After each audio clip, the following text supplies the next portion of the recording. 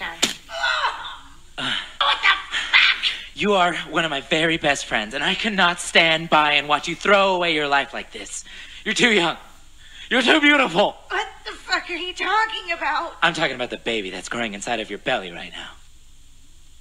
I'm not pregnant. Well, not after that punch, you're not. I've been taking Muay Thai classes.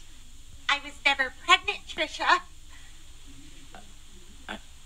Are you sure? Yes, I'm fucking sure. I'm sorry, but why the fuck is everybody yelling over here? Oh, I found this positive pregnancy test, and there was. Good. Oh, mother